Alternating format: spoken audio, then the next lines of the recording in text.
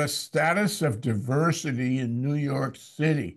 This is a, you know, a significant topic.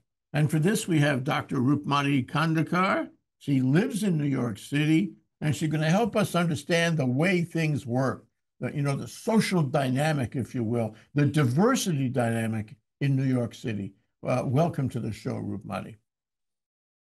Aloha, Jay, and it's my pleasure and honor again uh, to be invited on your show. And it's a pleasure to interact with you. And so now we are speaking about a city which we both love, and we both have uh, the uh, honor, like our privilege to stay in New York. So let's yeah, yeah, and it's not just the food, although the food is very, very important. yes, yes, yes. So right, so right. So, so let's let's talk about you for a minute. Um, um, you're you're Indian. Can you talk about your you know early years and how you wound up in New York? So I'm Indian. I'm a Maratha uh, uh, Hindu from uh, India, and uh, I got selected for the uh, United Nations, and I've come to New York, and now an international civil servant, and writing books on the UN and about life in like it's life in New York happened. it was a it was a, a fortunate uh, happening in my life. So it's a treasure that I keep close to me. And New York is a wonderful city, uh, which every uh, whoever comes to New York can call themselves a New Yorker. So that's the magic of New York. You forget where you've come from and you call yourself a New Yorker. So uh, that that's the fun part of it. Uh, if you but you travel a lot too. Yes. Uh, so gi- give us a short list of all the places you travel to, you have traveled to. I think only Australia and New Zealand remaining, the rest are all covered. Uh, I was just speaking uh, before this that uh, leaving Africa, New Zealand, and Australia, I've been all over. And yeah. traveling, uh, traveling keeps um, traveling is one of the best uh, experiences that you can get out of life. So unless one one time travel is like a page, a chapter of your life well done, you know. So you can pat yourself on the back when you've traveled, when you uh, breathe in different cultures, when you breathe in different uh, um, ethnic societies, you see diversity in the world. So that's what keeps you alive and that's what makes you understand the world is such a big place and such a small place at the same time. So yeah, that helps yeah. you understand New York and and vice versa. Uh, living in New York helps you understand other places, you know. So yes, uh, correct. I haven't lived in New York for a long time, although I visited a few months ago, and uh, I was struck by, um, you know, the diversity, the tolerance, uh, and people all really get along. And uh, you know, back when I was a kid, it wasn't quite like that. Um, there, there was, um, you know, bigotry, there was uh, racism, and so forth. But I, I don't think it's like that anymore. My sense of it is that um, you know, everyone from every place gets along, uh, and it's a kind of, may I say, it's a kind of um, new chapter in the melting pot. Uh, you see it in the media, and you see it on the street. You see it in the businesses, the restaurants, the shops, um, and you. You uh, let's start with the United Nations. What is it like at the United Nations? How do people get along? Um, are there is you know are there are there bigots in the United Nations? Uh, you know, Jay, in every country, in every place that we go, you are a representative of what you come from, and when you take it to uh, where you are currently at the moment, it becomes uh, a, a, a kind of a dramatic representation of who you are.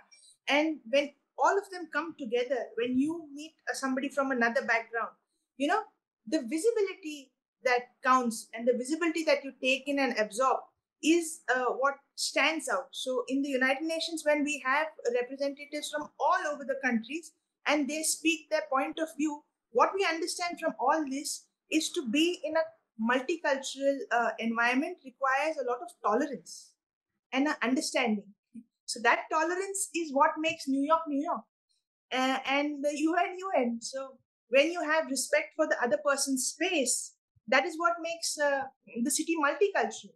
If the place doesn't have tolerance for the other, then you have closed countries or closed cities, closed spaces. So uh, tolerance is a very, very important foundation for a multicultural, multi-ethnic um, uh, environment to be sustained on. And a community feeling, when you feel the front is no different from you, maybe a little different, but a human being, you know, humanity comes in, you know, these big ideals um, of talking that it is uh, humanity, it is tolerance, it is understanding, it is respect for the other that come in and uh, freedom to be who you are.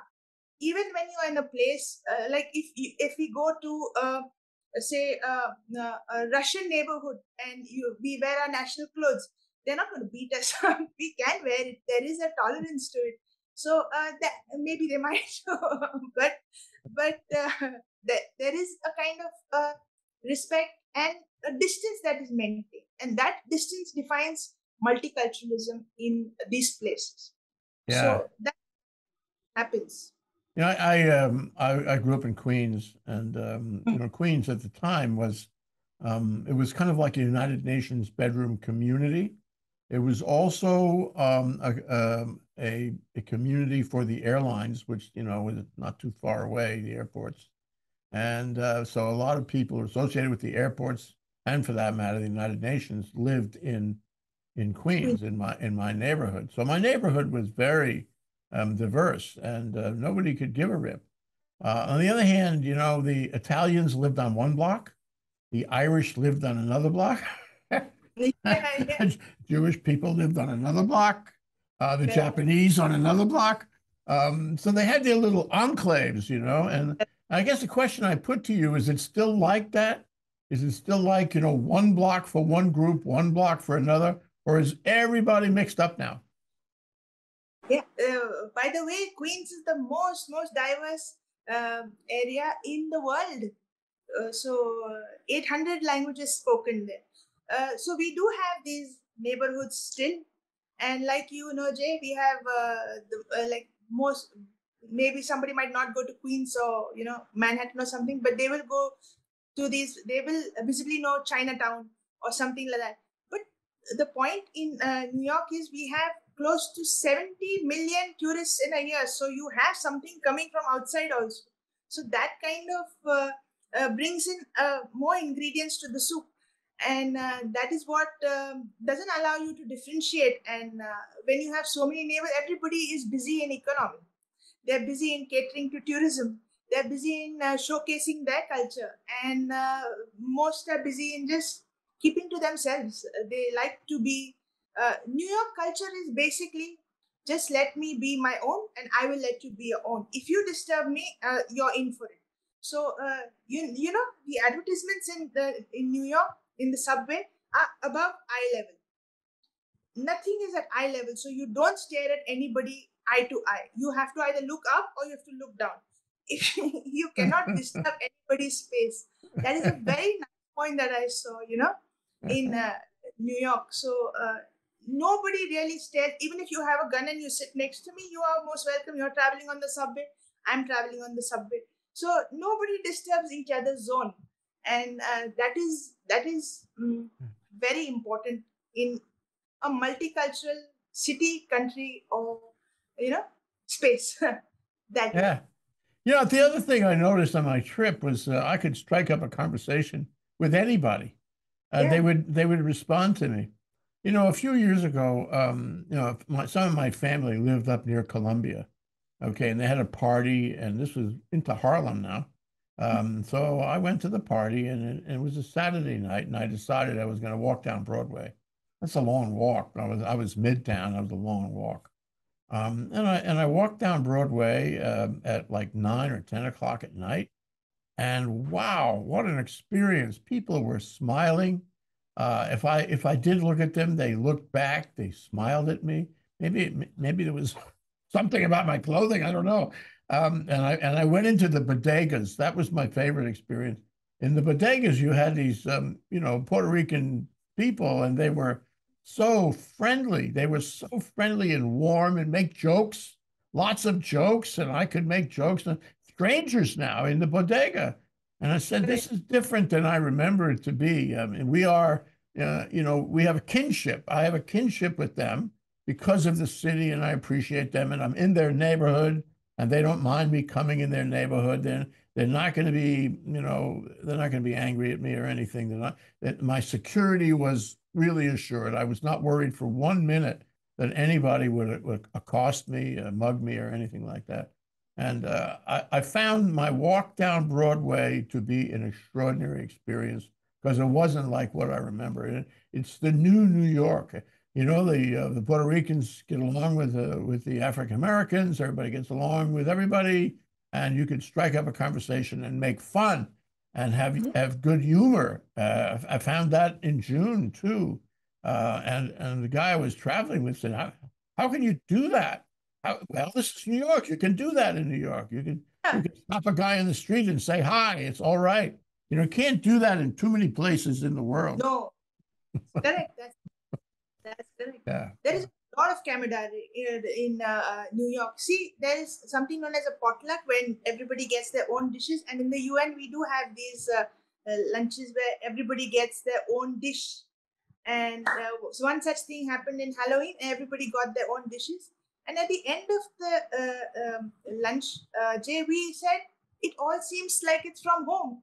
So it doesn't feel like it's from this country, or there's not a lot of differences. Just plain delicious. So uh, that kind of similarity that you seek to find in diversity is the thing that keeps uh, New York going. And uh, CJ, after uh, the September 11 attacks, uh, Islamophobia came into the forefront. You had a fear of the visible religion. You had a fear of, uh, you know, religion which is visible to the eye. The hatred is a tad higher than religions which are uh, not visible. I mean, sometimes you can't make out whether it's he's following a particular religion if he wears uh, regular clothes. But clothes can uh, display the religion, and then hatred can follow. But even in the face of such a big catastrophe, the uh, response was muted. It was not something like there was a massacre, which would have happened in any other place Mhm. or uh, if a community is attacked it doesn't mean the community start, start fighting with themselves so the diversity brings around uh, such a bonding that you feel he's my neighbor in new york rather than saying that hey he's ethnically this he's racially uh, that person i need to fight him. No you boil down to being a new yorker rather than being uh, uh, racial identity or um, you know my language is different from yours. Maybe i'll communicate in sign language. Uh, so eh, it's basically about how much a city can tolerate. You know, um, my story uh, back in um, 9/11, um, the, there's this uh, Chinese um, lawyer, and she went for a master's degree at NYU, and she arrived on September 10th, um, 2001, and and um, you know she woke up in the morning and everything was burning, and the, the twin towers were coming down, and and her building was like a block away, was because NYU has all these properties downtown. And so she had to leave. She had to evacuate the building, and she was there in the smoke and the rubble, and you know all the chaos.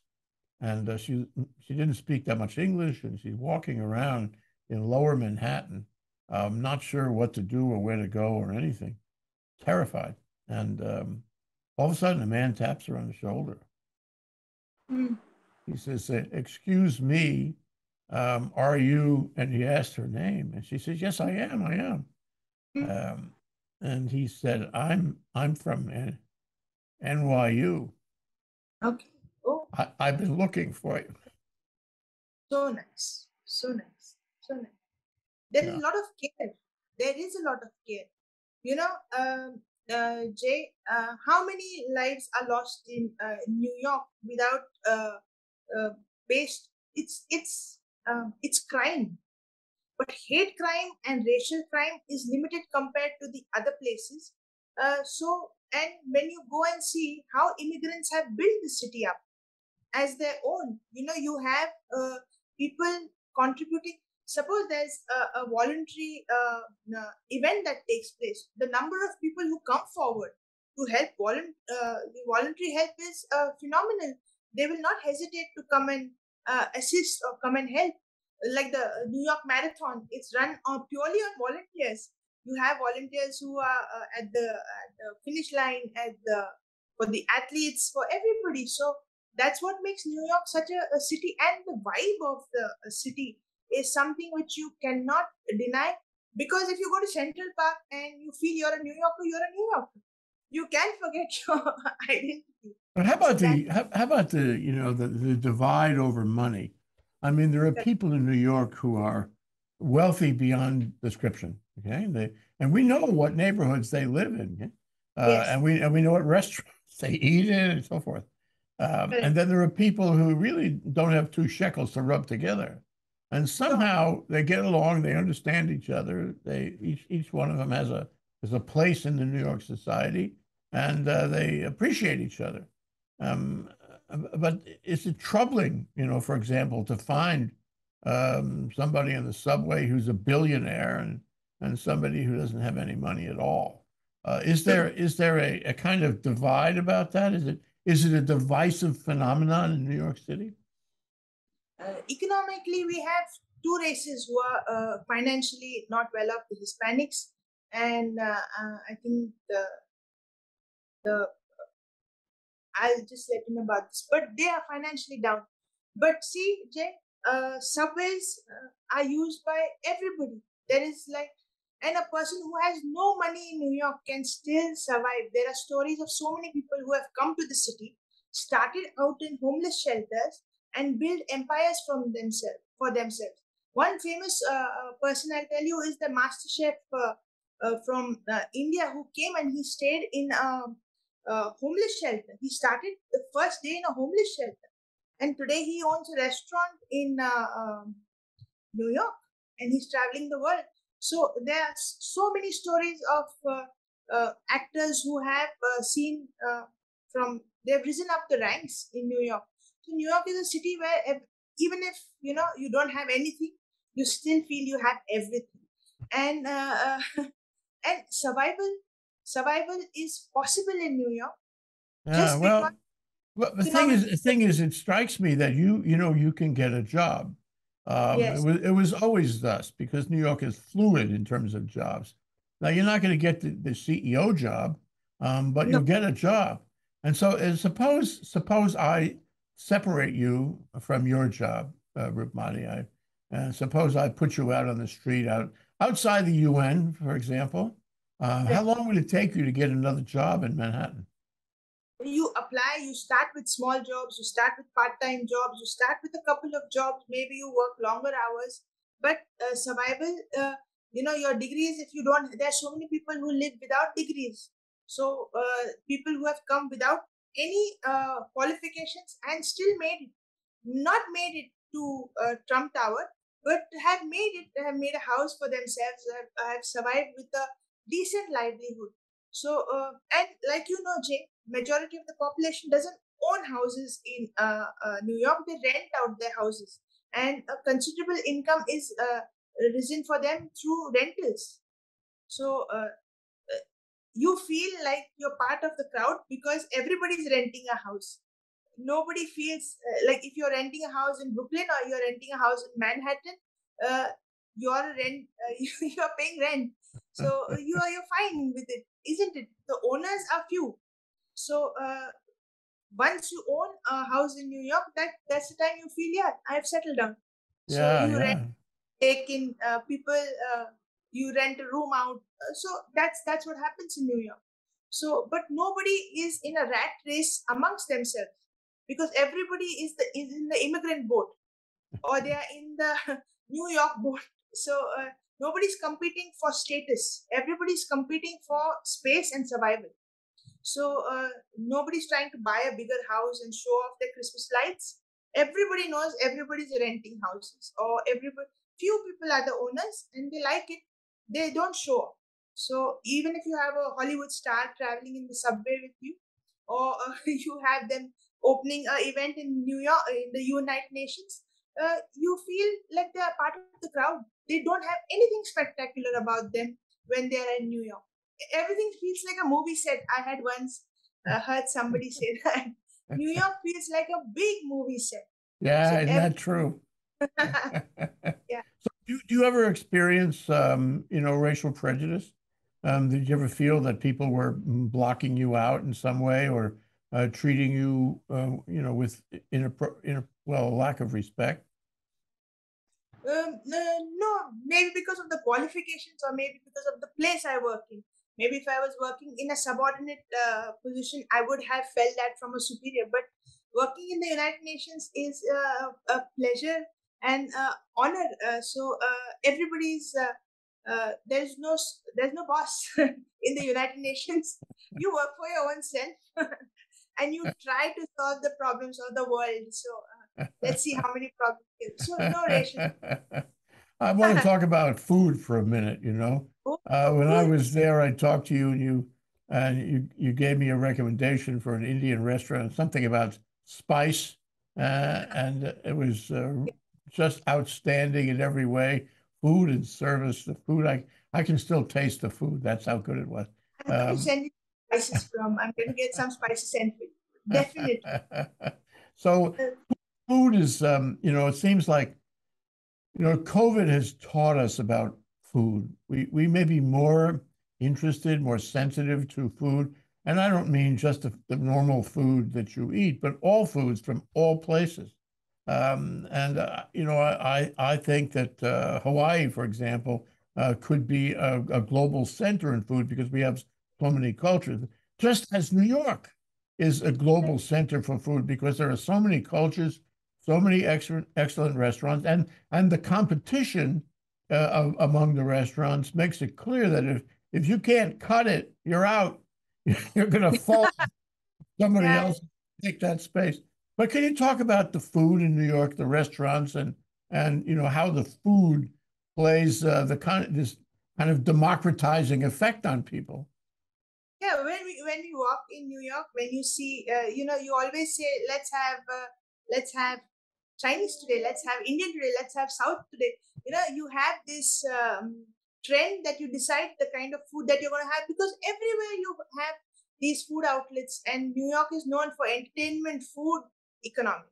So uh, when you have uh, food playing such an important part, and you know it ranges from uh, a hot dog on the uh, sub uh, on the pavement to a fancy restaurant uh, right up, um, say anywhere, Grand Central or you know Trump Tower or the delegates lounge in the United Nations. So all these places, you you can have any dollar spent on any cuisine you want and uh, your palate will be satisfied uh, it will not be uh, your you know your taste buds will not be disappointed because you can have everything everywhere in new york and that's the beauty of it because when the immigrants came they bought in each one bought in their own and uh, so we don't have new york being in new york means you can taste everything you can be anybody you can do anything so that kind of freedom that comes with it. You know, if you want to go to a Jamaican restaurant and uh, have their cuisine, it, it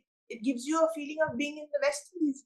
So that much of authenticity, uh, like we have uh, in, uh, back in India when we have to have Chinese, they will say, no, no, this is not the Chinese that is made in China. This is Indian Chinese. You have put a lot of uh, your own. But in New York, you can taste authentic uh, cuisines as they are made in their own hometown. They've kept that. I don't know how this happens, but even in the melting point, each one has maintained their own uh, unique identity. So that is very nice. That's because people demand it. Uh, they say, I, I want real Chinese. Uh, I want Szechuan right now. yeah, yeah, yeah. every every single group has a, right. a you know a, a, pure expression of the their food culture, and and you can have that. You can you, you may have to travel a little bit, but you can have that. Um, and I, I I really actually I miss that, and I I think Hawaii has to do better at that because we we do have the cultural you know diversity, but we you know the food we have to work on. I think, and they are working on it. Um, yes. But I want to I want to skip to one other thing you mentioned, and that is uh, entertainment. I take two parts uh, of entertainment. You know, one of course is the museums. Um, so you know, you could be standing next to a billionaire and uh, enjoying the same art, um, you know, the same museum experience. And everyone goes. You can go to a museum, and it is as crowded as any museum in the world, in Europe, in Asia, anywhere. Um, it's it's a, a, kind of an avocation uh, to see what they have and to see the best and the brightest, uh, uh, you know, curators uh, with the most incredible international exhibits. It's all there, right? Yeah, it's it's and it's so accessible, Ajay. If you want to spend a day and you say, "I want to go to the Met Museum," uh, you know, you feel uh, you have done, you've seen, you you feel enriched when you come out, and that kind of experience happens in only a few places. Like you go to the London Museum, uh, and you go to the Louvre. It's that kind of standard that is maintained in such a busy city. So you have just economy running on the street, and suddenly you have something which gives you a cultural experience, which gives you a, a experience of heritage. So uh, you know you you can spend you can teach your children that uh, there is a diversity even in the uh, things that the city offers back to its citizens. So uh, when we uh, decide to spend uh, time in the museum, it is it is an it is a thrilling experience. Or going to the zoo, you know, you learn about so many things. So going to Central Park is like a, a totally different experience. You really feel. Uh, I mean, nobody can cross Central Park in one day, but when you go through uh, for a jog or you go for the, uh, for the zoo, everything you feel wow. It's an it's a nice event. You know, people come from uh, another place just to see this, and we are privileged to be staying here and enjoying that and sunsets and everything in New York changes. Nothing is same. You cannot say, I just did this yesterday. Why should I do it today? So every day also becomes unique. And um, the experiences that you can have can range from. And, and uh, Jay, what about the uh, markets that uh, happen in uh, New York, the farmers market uh, in Union Square, or, you know, you have uh, the Hispanics or anybody Latinos putting up a music show in Bryant Park. So you have these places where you can just be part of that culture for a moment and come out. So you you enrich yourself. It's like traveling, isn't it? Like you were speaking. When you travel, you pick up uh, experiences, you pick up love from another place, and you keep it in your hand. So that's the same place in, uh, thing in New York. When you experience an evening or you experience a visit to any place, uh, you're you're going with the crowd, but you're picking up so many things from the city, and it's something that you never forget. Never forget. I mean, I, am sure every traveler who leaves New York has a tear in their eye and wants to come back. So it's it's that kind of a place. Yeah, you're you're as much a New Yorker as anybody I ever met, Roopmati. so let's talk for a moment uh, about uh, about uh, performing arts. Let's talk about music. Uh, let's talk about dance. Let's talk about opera. Uh, let's talk about Broadway. How can we not talk about Broadway? Now, this is a leveling experience. It's yes. not only that you can find so many things that enlighten you intellectually and culturally, but you're you're sitting next to somebody and the seats are small and you feel that person next to you. When that person applauds, when that person laughs, when that person has an emotional reaction, it's transmitted to you. So the audience is all together. Talk about how that works. Oh, Broadway is magical, isn't it, Jay? The lights of Times Square, and you know, you feel you feel just a, a star factor in that entire uh, environment, and even, not only us, even the Hollywood stars who come from the lights feel it's a privilege to uh, star on Broadway. They feel it's part of their resume and uh, so to experience this kind of thrill and this kind of live entertainment is uh, is unique to uh, this place uh, to New York and to America itself. America, like it, I'm telling you, New York is one of the most uh, beautiful expressions of being an American, and uh, uh, it showcases all the right values of freedom, of expression, of what do you say, of that thing where you can you have you can dream and you can achieve it. So uh, when when we see on broadway this extravaganza of uh, lights and dance and music it it thrills me the thrilling and the halloween parades. Jay what about the parades? You're missing out the parades. I mean uh, those parades uh, the navy parade the um, the halloween parades they are so uh, you you blend with them. I mean, uh, how can you you wait for it? Like, when can I have the next parade? And uh, I mean, uh, New York comes together, and Halloween is just one experience you have to have in New York because the entire city transforms into a masquerade ball. So you have every character around you, and it's it's wonderful. It's just wonderful. Well, that takes me to uh, something you mentioned a, a, minute ago, and and that is Central Park. And I I uh, I visited Central Park, and I visited Washington Square Park, which is a a kind of very condensed Central Park. So much there in only a couple blocks. Um, but you know, go to the parks now is way different than going to the parks when I was in school. Yes. Um, the, it's like everything, everybody from everywhere, every kind of nature, everything, everything. Some things really weird, really weird, uh, with with families and kids and strange people, strange cultures, and and it presents slightly differently uh, in the sense that um, uh, Washington Square Park is a is a reflection of Greenwich Village, which is you know a very strange and creative neighborhood. Um, and and uh, on the other hand, uh, Central Park has everything. It has everything for everybody, and you can you can just sit on a little bench and watch them pass by and see the whole world, uh, you know, passing passing you. What? So, do you do that? What is it like for you? What does it mean for you? Uh, Central Park is it's it's one of the most magical places because just because of the changing weather, uh, you know, you can see the entire reflection of the uh, climate on the uh, foliage. In autumn, you have a beautiful blush of colors. You know, you have it's it's like it's uh, like god's painting it for you and in snow it's completely white. And you know on autumn day uh, you, everything is just dry and every sunset is different. So uh, i mean i can, i have not been able to say one day is the same as the other. And sitting on the benches of uh, of uh, central park is uh, it's you, you've seen enchanted? It's something like that. You are just uh, you're just happy and grateful that you have reached New York and you are you are experiencing this for that moment in your life. So uh, it doesn't matter what comes tomorrow, what happened before. It's that experience that you stay in that moment. And New York is all about moments. If I tell you, Jake, nobody keeps. Uh, uh, nobody carries a baggage. Everybody's got their own issues and everything. But if you tell them, ask them, they tell you that time. Nobody's got the um, patience or time to talk about before or talk about after. They will just give you a brisk hello, hi, and they will, nobody will uh, interfere in your life or nobody will uh, disturb you if you don't want to be disturbed.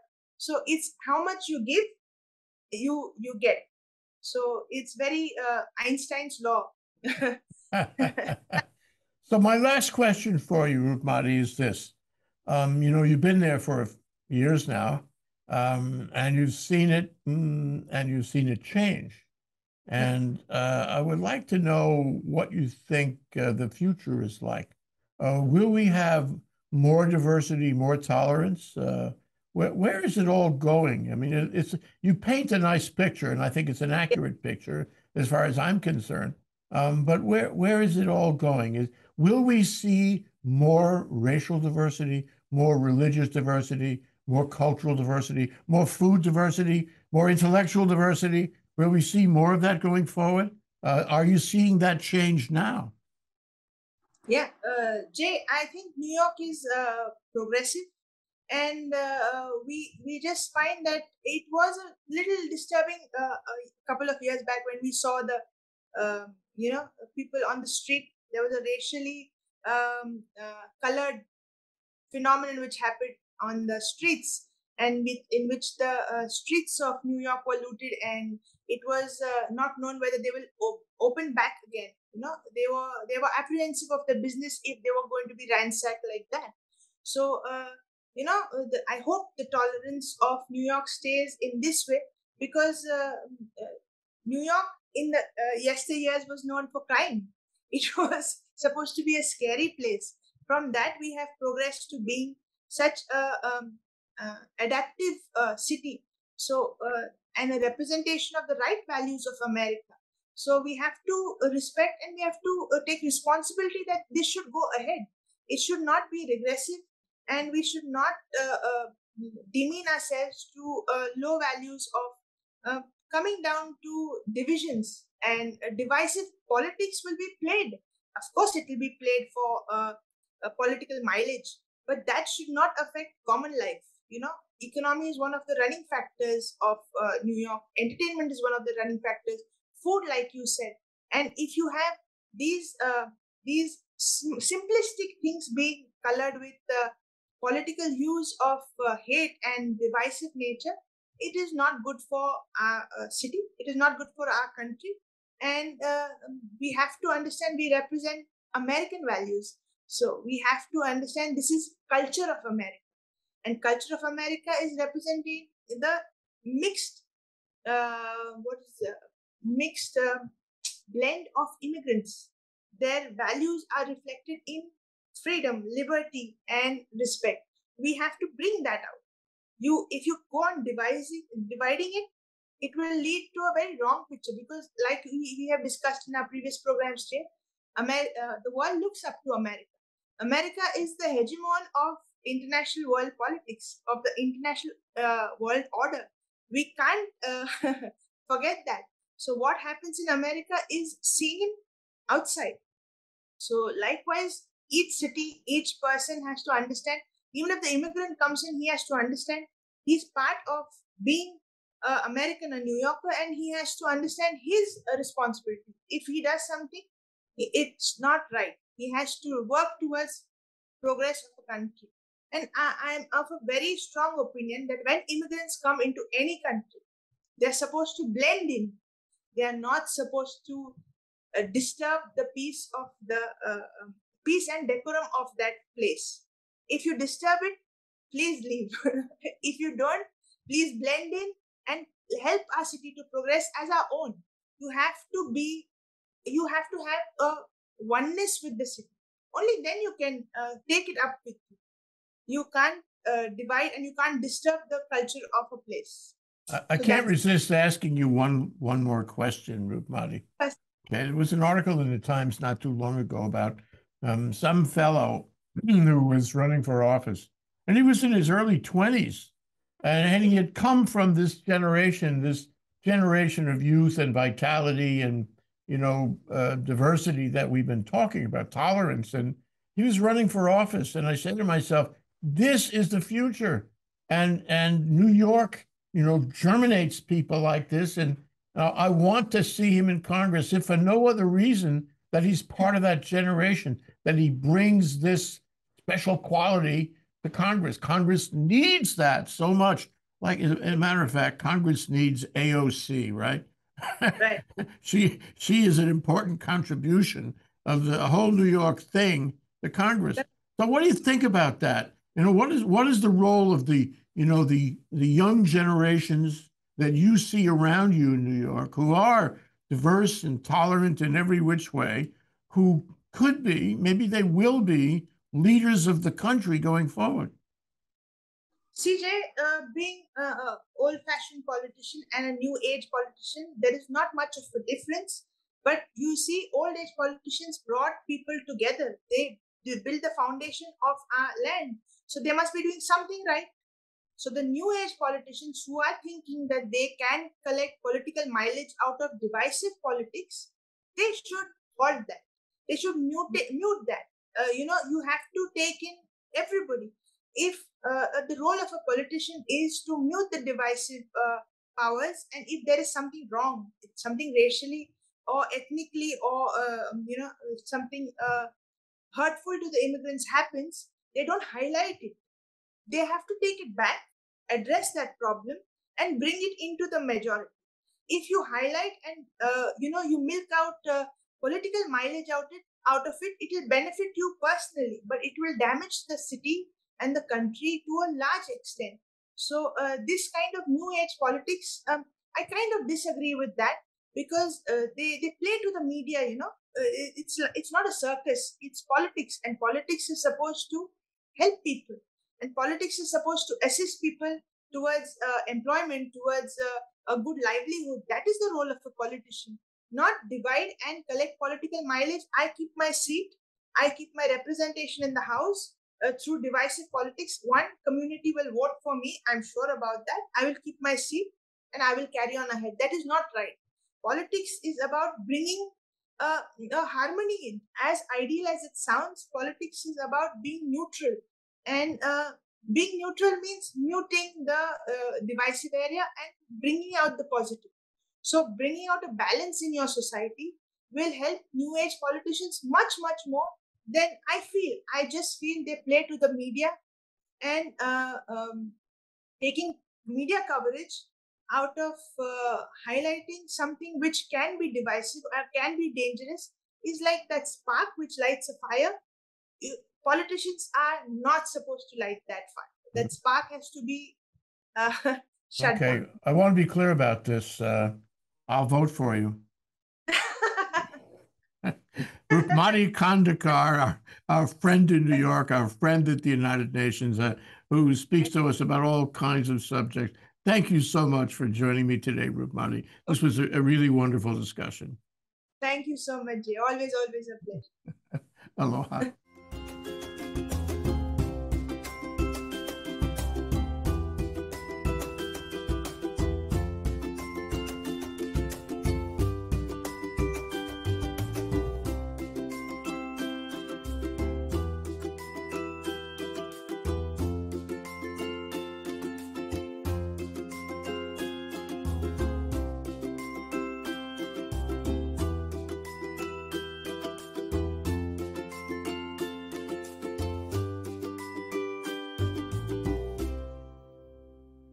Thank you so much for watching Think Tech Hawaii. If you like what we do, please like us and click the subscribe button on YouTube and the follow button on Vimeo. You can also follow us on Facebook, Instagram, Twitter, and LinkedIn, and donate to us at thinktechhawaii.com. Mahalo.